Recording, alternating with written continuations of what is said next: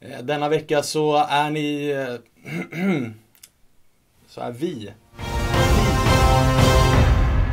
Varmt välkomna hörni! Solo Calcio TV är tillbaka med ännu ett program. Eh, denna vecka så är vi som ni ser en man kort då Rickard Folker är iväg på, på andra äventyr. Eh, det betyder att jag får ratta det här programmet själv den här veckan.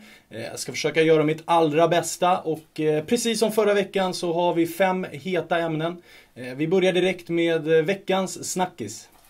Den hittar vi ju såklart i Casa Milan där det sällan är tyst. Och, och, är det inte dåliga fotbollsresultat det pratas om så är det ju ibland kärleksaffärer. Eh, Barbara Berlusconi som är dotter till eh, Silvio Berlusconi eh, var ju tidigare tillsammans med anfallaren, den skadebenägna Alexandre Pato. Nu ryktas det om att hon har gått över och hittat en ny flamma i laget och det ska ju då vara chefstränare Filippo Inzaghi. Dessa rykten går just nu i de italienska medierna men huvudpersonerna själva förnekar ryktena väldigt kraftigt. Eh, det går dessutom snack om att eh, båda två faktiskt eh, funderar på att lämna in en stämningsansökan till de medierna som har spridit de här falska ryktena. Mycket kan man väl säga om det här, jag tror inte sista ordet är sagt riktigt ännu. Vad vi kan konstatera är ju i alla fall att Barbara Berlusconi går i sin faders fotspår. Så sådan far, sådan dotter tydligen. Vi går vidare med veckans clowner. Ja, clownerna denna vecka hittar vi ju i Moskva. Eh, fotbollsklubben AS Roma åkte ju dit i tisdags för att spela Champions League-fotboll. Eh, man hade länge ledningen eh, med 1-0. På tilläggstid så kvitterade CSKA, vilket gör att vi i sista Champions League-omgången får en avgörande match på Olympico hemma mot Manchester City. Eh, Roma-spelarna firade eller tröstade sig efter matchen eh, med att eh, besöka Röda torget. Det var i alla fall tanken. Istället så slutade man upp på en strippklubb, ganska suspekt sådan i Moskva. Eh, ett par ledare och även ett par spelare fångades på bild både på väg in och på väg ut ifrån strippklubben.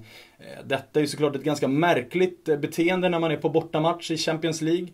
Spelarna ska väl trots allt vara förebilder. I dagarna så gick ju även sportchef Sabatini ut och kommenterade det här och sa att från klubbens sida så är det här helt okej. Okay. Vi tycker faktiskt att det är ganska positivt att spelarna kan hitta på roliga och trevliga saker även utanför fotbollen. Så att, eh, ja, med det uttalandet så tycker vi faktiskt att man förtjänar ett par clownnäsor helt enkelt. Från de clownerierna till något som är betydligt mycket roligare. Eh, nämligen veckans bästa. Eh, den, eh, den här veckan så hittar vi veckans bästa uppe på Stadio Friuli i Udine. Det är ju såklart Antonio Toto Di Natale som vi pratar om. Eh, I veckans hemmamatch mot Kievo så spelade han sin 400 match i den högsta ligan. Och vad passade bättre än att fira det med att göra sitt 200 mål? Eh, en ganska stor bedrift med tanke på att Di Natale har spelat i mindre klubbar som Empoli och Udinese. Börjar dessutom komma upp till åren men han visar trots allt att gammal är äldst och att han fortfarande vet vart målet står. Eh, så den här veckans bästa, Antonio Di Natale. Ja, vi går vidare med veckans Balotelli. Eh, den här veckan så hittar vi honom i Genoa. Det är nämligen lagets målvakt och den nyblivne landslagsmålvakten Mattia Perin eh, som har gjort bort sig lite grann. Eh, han var ju ute och firade sina insatser med det italienska landslaget med att tillsammans med några goda vänner ute och käka lite, dricka ett glas vin eller två. Inget konstigt med det egentligen. Eh, problemet var väl bara att eh, efter den här tillställningen så satte sig Mattia Perin bakom ratten eh, och körde därifrån. Det får man ju såklart inte göra efter att man har druckit vin. Det har ju blivit bestraffningar ifrån klubben. Det var länge snack om att han skulle till, till och med skulle bli petad. Så blev inte fallet, men att köra rattfull är ju definitivt någonting som vi kan skriva upp på Mario Balotellis checklist. Eh, så denna vecka hittar vi Balotelli i Mattia Perin.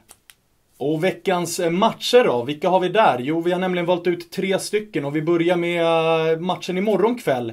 Det är ju Kievo som tar emot Folkers Lazio hemma. Nu när det har varit löning då så rekommenderar vi väl samtliga att lägga valfri summa på Kievo. Eh, Folkers Lazio är ju helt under isen. Och eh, framförallt ska det bli roligt att ha tillbaka honom nästa vecka så ska jag såga honom rejält för den förlusten. Eh, de största matcherna ur ett eh, lite mer subjektiva ögon är väl annars på söndagen då vi hittar Derby della Mole i Turin. Eh, det är Torino mot Juventus. Juventus har en superfin form, eh, kommer från en fin vinst i Malmö. Fin vinst med 3-0 också mot Folkers Lazio såklart. Eh, har dessutom vunnit sex raka derbyn mot Torino och eh, Torino lär väl vara hyggligt revanschsugna. Eh, förhoppningsvis så får vi också se våra svenskar Farnerud och Pontus Jansson i startelvan. Eh, skulle vara riktigt trevligt. Eh, en annan match som spelas lite senare är ju Roma mot Inter. Eh, Roma som kommer behöva vinna för att haka på Juventus uppe i toppen. Tar emot ett Inter som kanske är på nyttfött under Mancini, det får vi se. Eh, han har haft en ny vecka på sig att förbereda laget. Så att eh, förhoppningsvis så blir det en riktigt eh, tajt tillställning. Och ska jag få bedöma den matchen så hoppas jag nog faktiskt på en Intervinst och det skulle vara väldigt bra för mitt kära lag Napoli. Men med de orden så avslutar jag för den här veckan. Hoppas att jag får lite förstärkning inför nästa vecka. Eh, glöm inte att gilla programmet och följa oss på Twitter, Instagram och, och, gå in på hemsidan för att få de senaste nyheterna från den italienska fotbollen. Ciao ciao!